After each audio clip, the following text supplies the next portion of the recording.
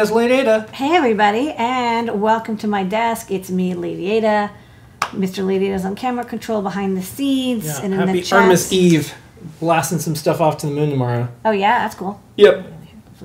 Um, okay, cool. So um, this weekend, I, I you know was uh, we went out for some nice long walks, and I came back, and I just like jammed down on a bunch of boards um, that have been waiting for parts um, over the last two years. I don't know if you knew, but there's this part shortage, which means I would sometimes get samples, design a breakout board or a dev board or whatever, and then be like stuck waiting for like six, nine months, year, seventy three weeks um, until the parts appeared and so um, there's a couple parts that showed up and also just some some boards that i've been meaning to get out and i thought i would just show a kind of a little stemma sunday Yeah. um, what do you want to show first? Want to go to overhead? yeah let's go to the overhead and i'll it. show the first board so uh, as we talked about last week the ccs um, uh, 811b which is a very popular um, gas uh, total volcanic total vol- volatile organic compound not volcanic volatile organic, um, and CO2, effective CO2 sensor. A lot of people really liked the CCS 811. I personally think the SGP 30 and 40 um, have been really good alternatives, but Sciosense did come up with another chip. This one's interesting, the ENS 160, which we chatted about last week. It has four gas sensors that are slightly differently doped, and then it takes the data and it does the merging for you. So one thing that's nice about this sensor compared to like the Zmod and the um, sorry the Zmod chip and um, the BME 688 series is that the ENS 160 does all that calculation for you. Like the firmware is already loaded on the chip, and so you don't have to like link this binary blob with like weird licensing stuff going on. Um, so the ENS 160, and then if we go to the computer, um, Sciosense actually wrote an Arduino library. This is a kind of a, you know, I, I know this is like no longer new. It's been a couple years, but I'm always kind of shocked now that um, sensor companies are actually uh, publishing Arduino libraries, and like they're like pretty good libraries too. They work they work pretty well. So. Um, this library was what's funny is uh, I was telling Phil about this. Somebody was like, "Hey, you know, I want a Circuit Python and MicroPython driver," and it's like, I, you know, because I wrote the driver and I was looking through the issues and I was like, "Yeah, I just wrote one, so check it out." Uh, and they just replied with a little thumbs up. But um, so I wrote a, a library for this in uh, Circuit Python Python um, yesterday, and it's uh, you know the code's working, um, and it's you know it's it's not a bad sensor. Like you know you know you can set the temperature and humidity, and then um, it basically calcu- does the data calculation and spits out um, air quality index, TVOC, E, and effective CO2, and then you can also get the raw resistances, uh, which I thought was kind of neat. Like they they do the math for you to tell you you know sort of what it um, equals out as effective CO2 or as um, uh, air quality or like you know organic compounds. But you could also just um, get those resistances if you want to plot them. And so this uh, little driver I wrote, so I've got it going on here. Uh, you can see, maybe I'll make this text a little bit bigger. And then I've got this um, this uh, Clorox wipe. You know, this is a very handy thing for uh, testing organic compound uh, sensors. So I put it over there, and you see um, the TVOC starts going up. It's like you know, it, it doesn't go up immediately, but it's um, it started with like 40, and now it's already at 200. So just just holding this nearby, not right on top of it, because you don't want to like poison the sensor by having alcohol directly on it. Um, but just wafting it nearby is a great way to test that this sensor is effective. Usually, I would use um, some scotch, but you know, post COVID, we have a lot of Clorox wipes. Less scotch, more Clorox. We drank all the scotch. So, um, this one sensor that uh, I wrapped up, and I got the tester going for it. Um, one thing that's interesting, the sensor has both I squared C and SPI interfaces, but like Sciosense didn't even write the uh, driver for SPI, so we, we kind of only focused on I squared C. So that's sensor number one. Um, okay, next up, uh, whoops, I just unplugged it. Okay, so then let's go back to the overhead again. I'll show two more completions. Uh, so we chatted about last week the uh, LTR 329 and LTR 330. Um, again, I, they both have the same uh, footprints as different boards, so I ended up just taking different PCBs and just soldering the, you know, just to, to get it going, just soldered the chip on there. Um, so the LTR 303, I recycled an LTR 390 board. And one of the things I really like about STEMMA QT standardization, I know you know there's some people who are like, ah, I designed a board that used your old sensor size. You know, you kind of just did whatever size, and now there's this new sizing. Um, it's great to have a standard, but not only is it handy for people who are doing mounting because you can kind of easily swap boards in and out because the mounting holes are almost always in the same spot, but it makes tester design a lot easier. So these are two testers, and these are actually generic testers. Uh, so you see here, they'll just say, you know, five pin STEMMA QT, and then this one is generic uh, six pin STEMMA QT. So one of the things that I also have to, you know, spend a lot of time on is designing tester PCBs. Um, but if I can just design some generic ones like these for, you know, the standard power ground clock data, power ground clock data int, um, you know, I can. Uh, it just saves me a lot of time because we can. I can reuse uh, testers. I can reprogram them, and these all plug into um, an Arduino Uno. I just removed the Arduino because I'm I'm doing different testers right now, but um, they just plug into an Arduino. So like this this simplicity and modularity of sensors is is really working out for me. And then um, you know we have a buzzer and LED, and it just makes uh, the testing procedure and the designing of the testers like super stress free because I can um, take an old tester, put this board on there, write the code, and then I don't have to like design a new board, which is you know always takes time. Okay, so that got done. You see it really is a STEMMA Sunday. Next thing is, uh, we had someone request this. It's a um, STEMMA QT hub. Um, and Mr. Lady, you recommended having it like kind of point up so it's you know you can mount it and you don't have stuff sticking out. Yes. So this just has five vertical uh, STEMMA QT ports and they're all tied together. Uh, so I could just take this one and say plug it into. Oh, sorry, I can take. You know, I've got my uh, FT232 board. Make sure I got this lined up. I plug this in, and boom, you know, they all they all light up and they're all powered and they all share, the same uh, data and clock lines and power lines, which is very convenient. And then they also have breakouts for the, you know, in case you want to breadboard this as well. Um, so handy if you want to, you know, all our almost all of our boards are chainable. You know, there's there's a port on the other side, so you can always chain them. But I did see someone who was like, yeah, like for the design I've got, it, it really wants to be a star shape. And I was like, you know what, you know, for a couple bucks, why not have um, this port? We also stock this uh, version from SparkFun, which is good too. Uh, I wanted something that was in kind of the standard sizing that I use. You know, I try to keep all of our boards as much as possible into this, uh, you know, 0.7 by 1 inch sizing. You know, again, the mounting hole's always in the same spot. And so um, I think between the two of these, you know, there's a lot of hub, hubby options. What do you think? Looks Yeah. good? Sounds cool? Looks okay. Good. Moving right along. Um, okay, I got a bunch of other stuff. Okay, so then I also got this uh, STEMMA QT shifter board that I'm wrapping up.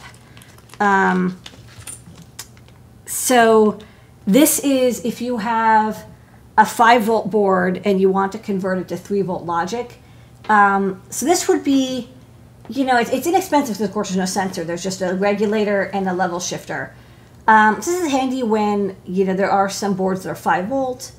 Um, or you want to, you know, plug this in and wire it and have some QT, but you also want like a regulator and shifter. Um, you know, there's a lot of times that I'm, I'm connecting up. You know, I, I do really still like to write my code for the Arduino Uno, which is five volts. Um, it's you know, it, it's a very standardized way. I know if it works on that, it should work on everything because that's kind of the the original official Arduino.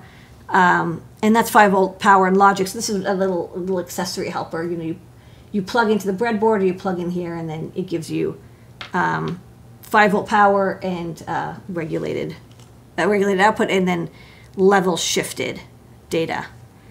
Okay, cool. And then so today's STEMMA QT board that I'm going to be working on, I just put it together. This prototype is uh, the DS4420. So yeah, again, I designed this in 2001, um, and I just couldn't I couldn't make the board for like a year. Um, and then there was some parts on DigiKey which I, I bought before the show um, because I've learned my lesson. Don't show off a cool part before I've ordered what I need. So I, I booked up the the pieces. Um, so this is a it's interesting. It's a it's an analog headphone amp. So it takes line level in, gives you headphone output, but then there's also I squared C volume control. And, um, you know, it's not a very complicated chip. It only has like literally one register, and it's like you can set it, there's like a seven bit volume control, so you can, you know, low and high. I don't even think it does balance or, you know, bass treble. It's really just volume. But, um, you know, that said, it, it's probably still handy. You know, we, I saw JP was working on a bunch of audio projects where like having digital volume control could be handy um, not having a digital a digital potentiometer can do it, but um, you know, of course, you want to have. A, this is more repeatable. Um, it's got lo- it's got logarithmic control already. It's by dB, not by um, voltage divider percent, so you don't have to worry about getting a log pot. And of course, it also does amplification for you. So I just got this, and I just like basically verified that I squared C scans uh, correctly, and uh, so it's good. I'm gonna work on the driver for this. Although again, a very simple board, like only one register. But you know, uh, after having written a bunch of drivers for like the ENS 160 and the LTR light sensors, all of whom were like they had they didn't have infinite registers, but they had a lot of registers, and just making sure that we have the setters and getters for every bit uh, was a little bit of a of a pain. So. So that's that, and then um, did you questions? Otherwise, I can show off some samples. Yeah, show off the samples.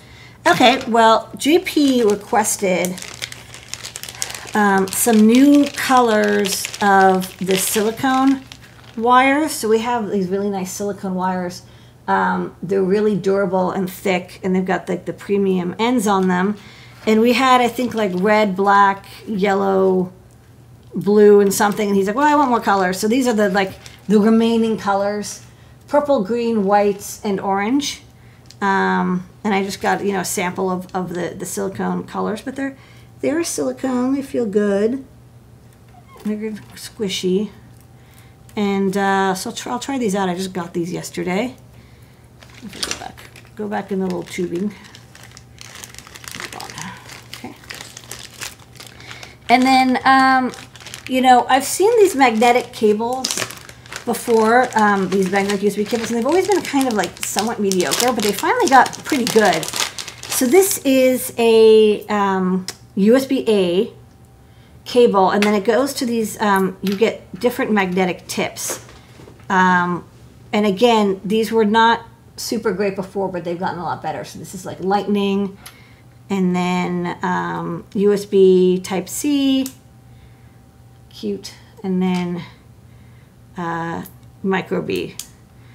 So the idea here is that you would actually, you know, you would you would have this maybe plug into your board like permanently or not permanently but semi-permanently, and then um, you could connect and disconnect it. So this would be maybe a way to like, you know, people want to have like different dev boards and you just plug in whatever you need whenever and you don't have plugging and unplugging. Um, and then if you have like a micro B board, let me see if I have one out here. Yeah, like this clue. These are, quite magnetic. Yeah, so this is the clue board, and then um, you know you plug in either way. And what's interesting is these are bidirectional. I guess I should plug it in and see what happens. Hopefully it doesn't catch on fire. Always fun testing samples. You never know what's going to happen. Okay, so let me plug this in. I have a little extension cord. Okay. So then, oh, it's nice. It has a little green LED. And then, yeah, it looks like this popped up. Okay, cool. And then I can also plug it into here, and then this this popped up as well. And I do like I do like that green LED. That's kind of nice. What do you think? Yeah. All right, cool. It's a good sample. And I like this is like a woven, it's a nice woven cable. So, you know, it's a little bit more expensive to get the nice stuff, but, um, you know, anything that I personally use, you know, I'll probably use this cable because it'll be nice instead of like, you know, instead of having like all these cables, I need one of every tip. I'll just have the tips into all the dev boards I use Yeah. all the time, and I'll just, I'll just break a, um, you know, break it and make the connection. Okay, so that's my samples. All right, want to do some great search? Yeah. Any questions, or we just want to Keep going. let's get going into it. Where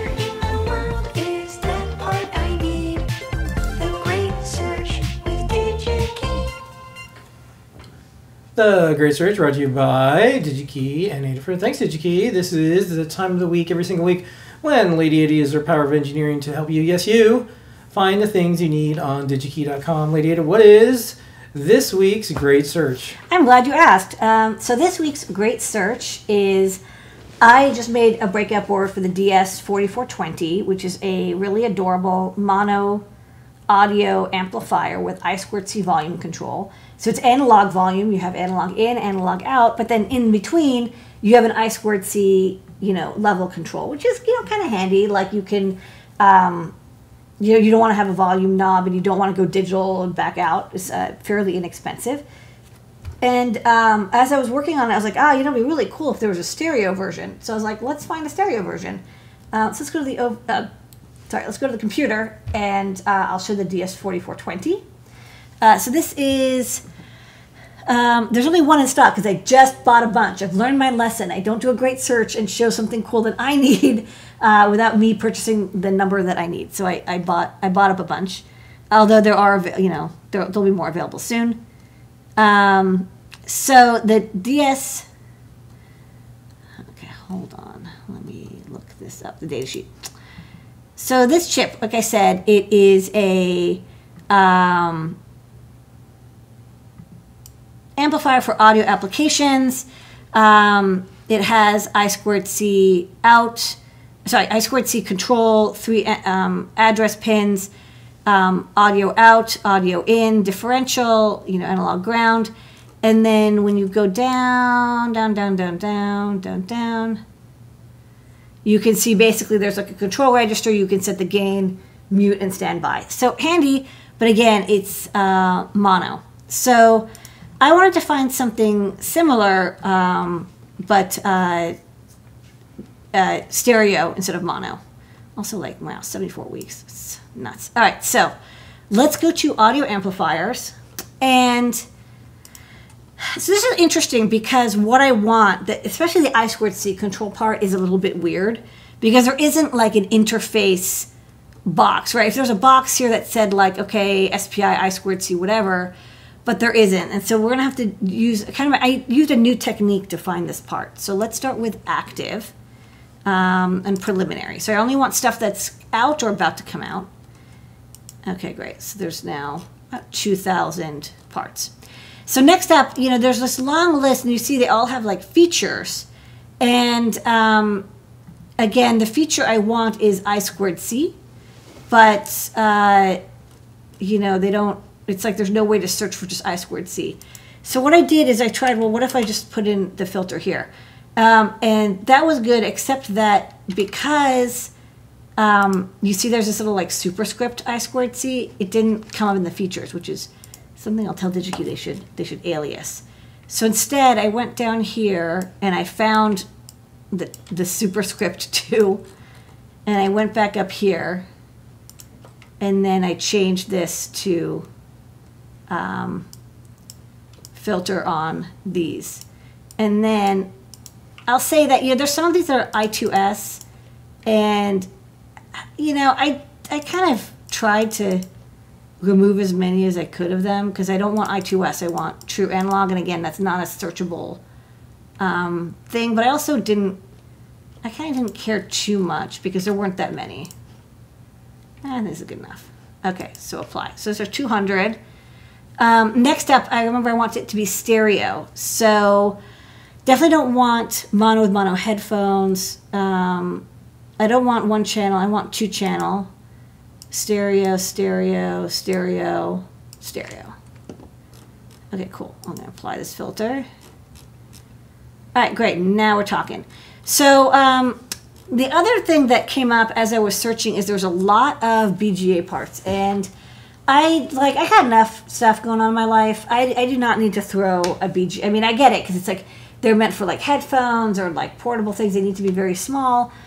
Um, I do not want BGA, and so I'm going to um, make sure that I select only the non BGA parts. So TSOP's okay, and QFN, no BGA, no BGA, no BGA, no BGA. I mean, I'm not going to get something that's 99 pins anyways, but I, I just basically did no BGA. and that gets me down to 31 parts. So now, now I'm really looking at only the things that are um, available. Now, most of them seem, there seem to be quite a few in stock. So let's look by price. So um, there were a couple. So this one was kind of nice. It's not in stock. Um, so I kind of, you know, it, it, it does do um, what on the tin. It's a um, class AB. So it's an audio amplifier um, with I squared C. You can see it has a little headphone, and there's audio in, and there's um, I2C. So it's analog, analog, and then if you scroll down, you know, they tell you um, the volume. It also has basically just volume control. And it looks like there's like a bass boost you can turn on too. So you can turn on, um, you know, uh, a, a gain, a nonlinear gain, so that the lower frequencies have a little bit more of a of a boost, which kind of sometimes helps with cheap headphones that don't have um, low frequency response. Bad news is not in stock, uh, and who knows when it will be in stock. So that's where I found this wasn't too bad. It's like you know a dollar in tape and reel. Um, the TPA sixty one thirty. So this part looked not too bad. One thing I liked about it, it has wide power supply. It has the audio, sixty four step audio taper. Um, it comes in QFN and BGA, but I'm not going to do BGA, I do QFN. And, you know, it's a pretty simplified uh, schematic. It's not too complicated. What's interesting is that you have a little um, charge pump inside, probably to, uh, to drive that headphone and, and get it. Um, I wonder if they have a false ground. Yeah, they do a false ground. So it really is meant for headphones. There's no um, blocking caps because it lifts it, it just makes sure that the headphone output is centered um, around about around the ground so there's no DC uh, offset so it's actually kind of a nice design and then if you go down you know they, they also show you hey you know here's what here's how we do it with the uh, bias voltage versus having it ground centered um, audio taper you know basically they do nominal dB gain to um, looks like negative 100 to 4 dB. And you just program, you basically just like write the register. Not a lot going on. Let's see, there's a few registers. Um, looks like you can mute each um, left and right. And you can set the volume. So, you know, basically four or five registers, very simple, um, but very effective. I actually really like this design. So I think I'm going to go with this one the the TPA 6130. That's what I want. It's I squared C, voltage range, uh, no cap required, audio output, headphone drive, um, and stereo input and output. This is my pick. That's a great search. Where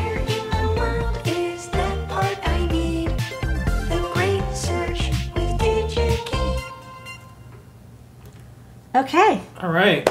And uh, So thanks so much. Some folks are helping each other out in the chat. There was a couple things. Here's one question um, Sure. for that hub like thing. Will it support multiple I squared C addresses? Answer yes. Looks like eight available addresses. So it looks like the question and answer were answered Well, that that hub is a passive hub. It just connects all the pins together.